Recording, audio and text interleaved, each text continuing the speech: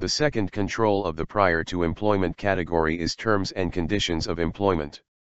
This control states that the employee's responsibilities towards information security should be included in his agreement with the organization.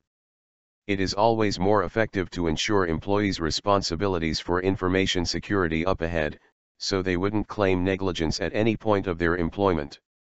These responsibilities and obligations should be defined reflecting the information security policies and guidelines. The terms and conditions which an employee would be signing and abiding by, should include a non-disclosure agreement of any secret, critical, or sensitive information that he would be having access to.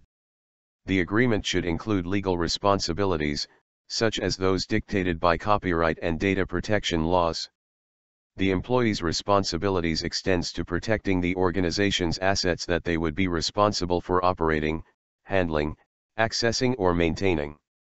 Failing to abide by the terms and conditions agreed on, disciplinary actions should be considered.